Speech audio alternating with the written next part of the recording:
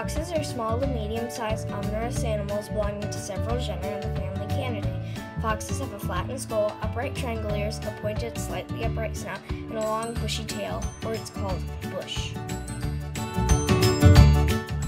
12 species belong to the monophyletic group of Vulpes, genus of true foxes. Approximately another 25 current or extinct species are always or sometimes called foxes.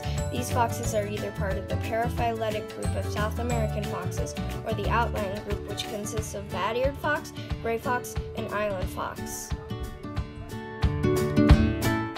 The Arctic fox, Lagopus, also known as the white fox, polar fox, or snow fox, is a small fox native to the Arctic regions of the North Hemisphere and common throughout the Arctic tundra line.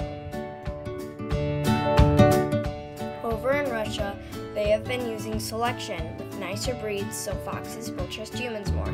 That's why some people in Russia have.